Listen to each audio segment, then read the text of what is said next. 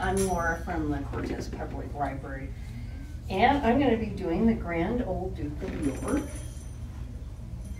And I cheated. okay. And um, you have your child on your lap. Usually I ask parents to stand because when I say up, have your child up. When I say down, your child down. Um, and then I have my cheater right back here. and I'll go ahead and do it.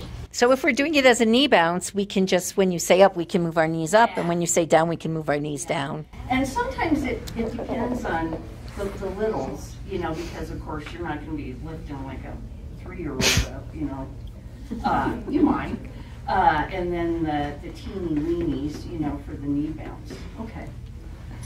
Oh, the grand old Duke of York, he had ten thousand men. He marched them up to the top of the hill, and then he marched them down again. And when they were up, they were up, Knees up, and when they were down, they were down. knees down. And when they were only halfway up, they were neither up nor down. Woo! Now he marched them to the left. He marched them to the right. He marched them da da da da da.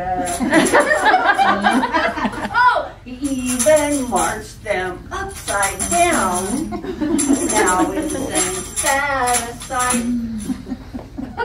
Do you want to repeat that again now that we knows how now that we know how it goes? Yes. And and actually with this standing up one, it's march holding the baby, lift the baby up into the air, lower baby, up, down, stand, raise baby up and down, march left, right. Let's try it standing up. Come on, everybody. Upside down and then clap baby feet. Just go feed your baby before this.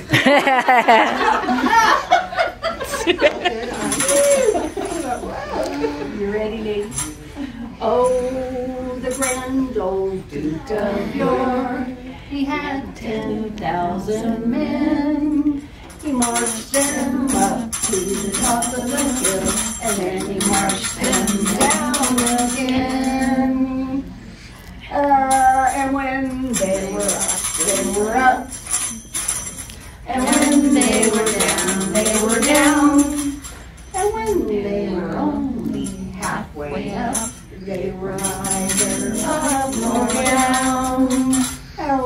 march them to the left. Left! Oh. march them to the right.